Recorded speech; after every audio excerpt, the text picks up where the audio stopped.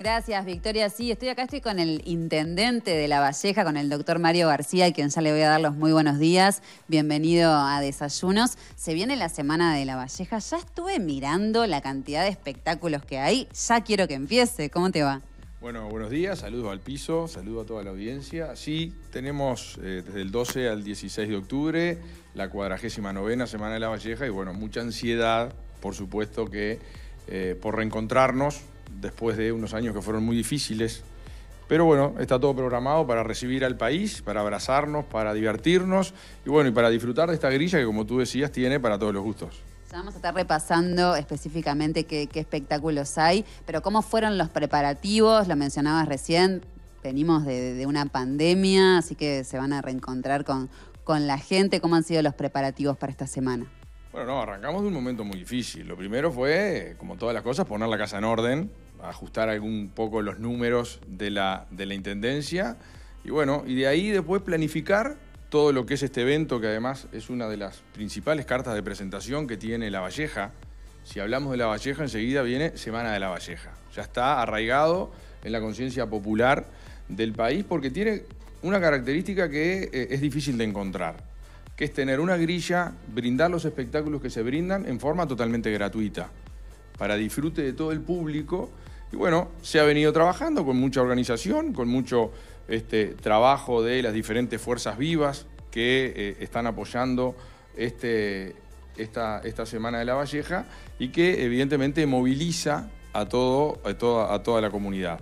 Por eso, bueno, estamos muy, muy ansiosos porque llegue el, el sábado porque arranca la Semana de la Valleja en José Pero Varela, con las actividades que están programadas para José Pero Varela, con toda una actividad hípica que organiza el Club Barrio Ocoya, con la fiesta del arroz con leche. Este, y bueno, después continúa el miércoles el Mina ya con una grilla artística que bueno que la, que, la estamos presentando justamente. Además de todos los espectáculos que, ya vamos a mencionar, ¿hay alguna novedad este año? Sí, tenemos varias novedades. Una de ellas es que eh, queremos, además de eh, lo cultural, lo artístico, queremos mostrar un poquito lo que somos, lo que es La Valleja. Y va a haber una muestra industrial, una muestra comercial e institucional. Eh, en definitiva, mostrarle al país lo que La Valleja le aporta con las principales industrias, las principales fuentes de trabajo, las principales instituciones que están muy arraigadas y nos identifican.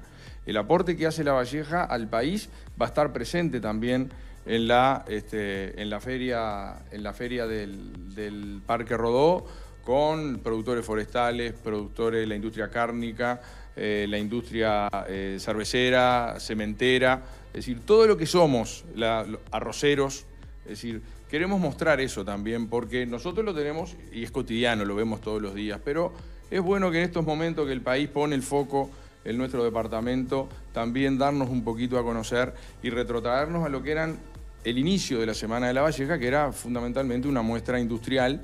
Este, y bueno, va a haber un poquito de todo en este reencuentro, porque creo que además esto simboliza muchísimo, porque es volver a reencontrarnos, volver a abrazarnos, volver a disfrutar, este, y es un poquito lo que queremos generar esta semana que viene.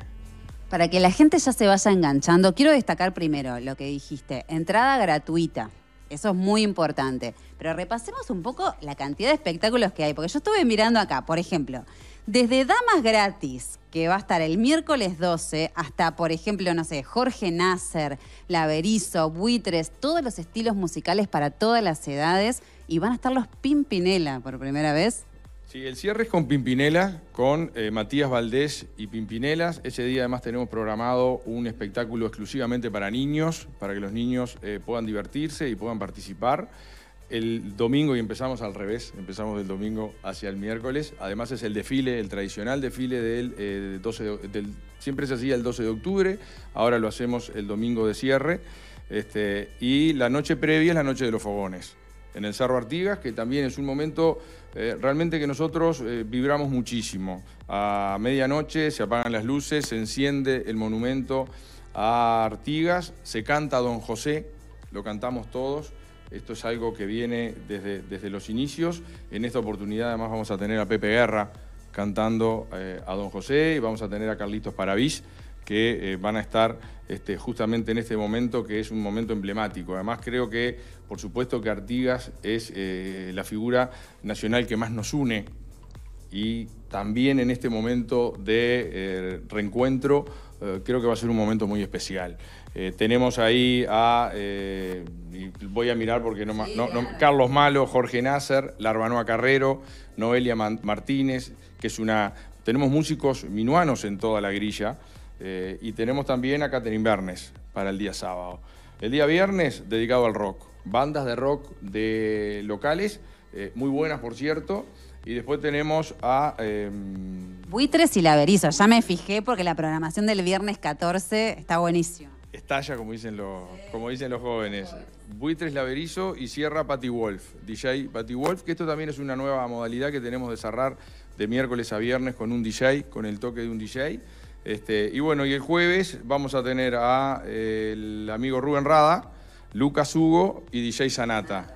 Y DJ Sanata. Y bueno, y el miércoles nos vamos al principio, ahí nombrabas un poquito este, toda la música tropical, eh, va a estar el grupo Burbujas de Varela, además de grupos locales, Chacho Ramos, Damas Gratis y Sierra, DJ La Rosa, que es un DJ que está tocando en Brasil hace unos cuantos años, que es minuano, toca en Brasil y bueno, también nos va a estar acompañando. Perfecto. Bueno, falta el loco Abreu, que si vuelve del viaje seguro se va a hacer presente también y están todos los minuanos. Sí, por supuesto. Sebastián sé que está, está de viaje. Este, no hemos estado con él últimamente, pero, pero seguramente si está, seguramente que va a estar, porque siempre está y siempre está dando para adelante y posicionando muy bien a nuestro departamento. Muchísimas gracias por estos minutos. El gusto de siempre. Ahí teníamos a Mario García, el intendente de La Valleja, con todos los detalles de esta gran semana que se viene. Qué lindo, ¿eh? Nadia. Qué lindo.